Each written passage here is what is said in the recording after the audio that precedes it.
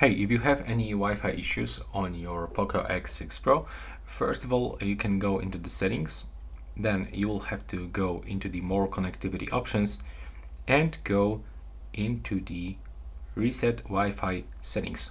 And from here, click on this icon and perform the reset of the Wi-Fi options. Now, as you can see, we get back the default network settings. And if it doesn't work actually, and you still have any Wi-Fi issue, you can try to perform the hard reset of your device. So put the whole device into the default state. So we have to go into the additional settings. Now uh, from here, you will have to go into the factory reset. If you cannot find it, like in my case, just find it right here, the factory reset in the other settings. And from here, click to erase all data.